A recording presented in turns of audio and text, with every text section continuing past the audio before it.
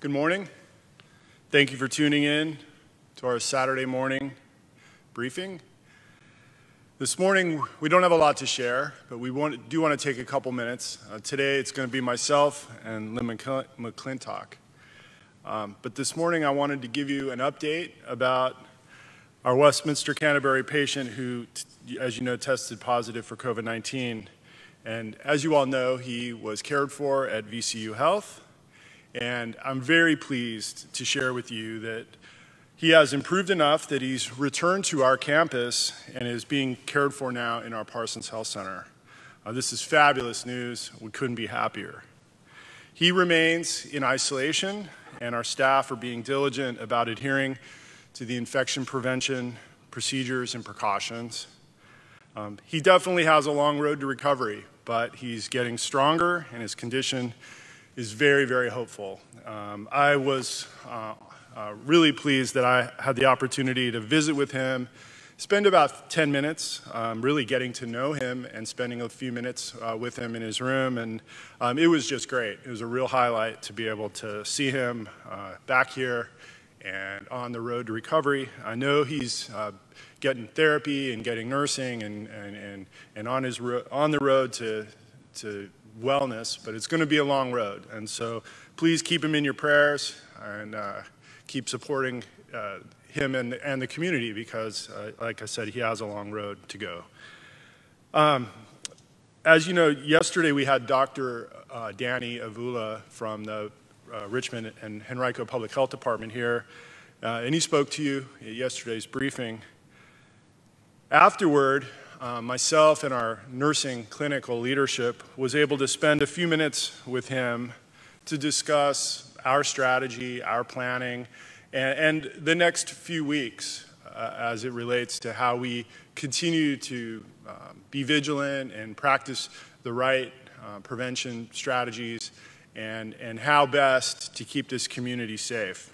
Um, as he did on the broadcast with you yesterday, he just repeatedly uh, stressed the vigilance of social distancing, uh, uh, repeated and, and, and, vigorous hand washing, staying inside the campus, and, um, and keeping yourselves um, emotionally, spiritually, and, and physically well. Uh, and so I just want to reiterate what he said, which is, you know, we, we're doing our best to keep this community um, safe and, and, well. And, and it's really, at this point, the hard work is yours, and that is to keep doing what you're doing. And, and we get lots of people thanking us all day long for all we're doing, and, and we're grateful for that.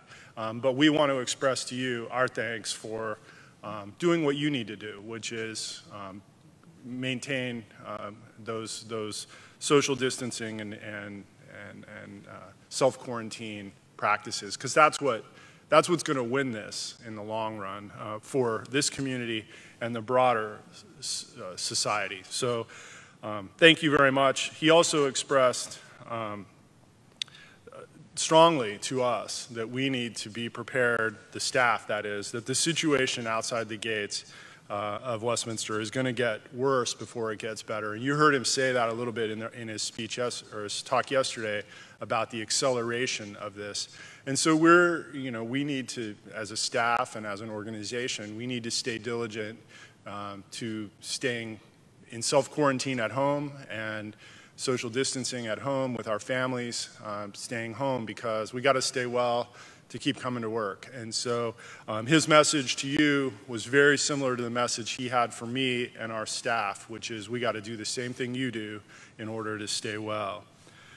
Um, another thing I wanted to mention is you should have received um, a memo from our resident physicians um, in your mailboxes yesterday. If you haven't picked it up, you'll find it in your mail today. And uh, this effort was led um, by doctors Sam Fuller and Don Switz, Bob Scott, and Clarence Thomas. Uh, they, they essentially wrote and, and drafted the letter and then solicited uh, support from really all of our physicians, uh, or most all of our physicians that live here, um, as well as our staff physicians, Dr. Felty, Reed, and Cook, and our board physicians, which we have a number of, I think we have four uh, physicians, two on our corporate board and two on our foundation board.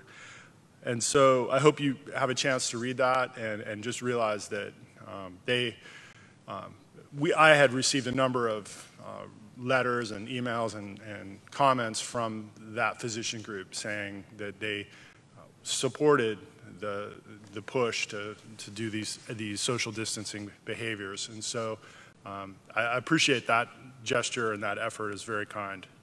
And then lastly, um, please continue what you're doing. It's very helpful. Um, that is the greatest thing we could ask of you, staying in your apartments and keeping your distance. Continue to watch movies, read books, explore all the digital tours and other things on the Touchtown app. Connect with your friends, your loved ones by phone, Skype, FaceTime.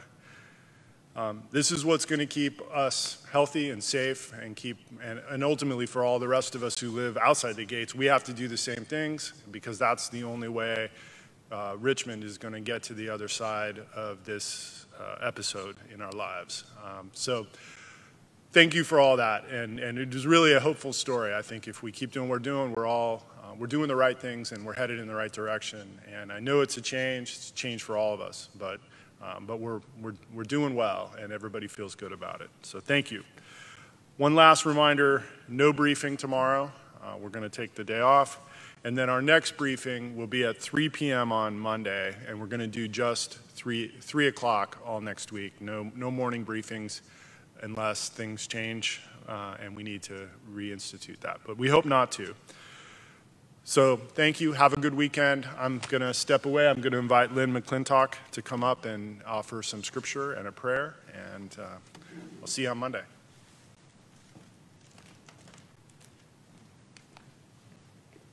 Thank you, John. I'm Lynn McClintock, Director of Pastoral Care.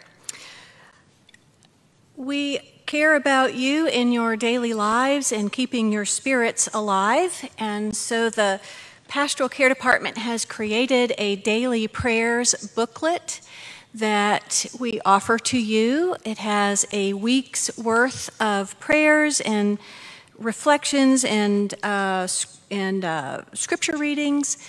It will recycle through each week. So um, we're going to do this every few weeks, but this is the new one. And if you would like to receive a copy, please call Vanessa Perry at 1502, Vanessa at 1502, or David Curtis at 5179, and we will deliver these to you. We hope that it will be helpful in helping you maintain a rhythm um, of your worship and devotion life. Today's scripture underlines something that we can all relate to right now. Particularly when we watch the news, we're seeing what is being taken away, how things are changing. Um, it's a lament of the things that are a normal part of our lives that are now missing. So listen to the scripture, but listen to what it says at the end. This is Habakkuk chapter 3, verses 17 to 18.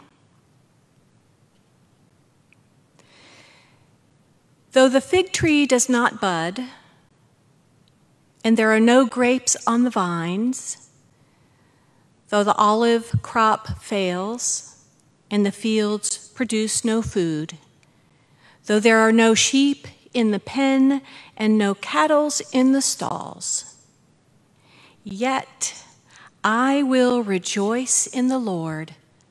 I will be joyful in God my Savior. So you see that the scripture doesn't stop, but the scripture says to rejoice and to be joyful.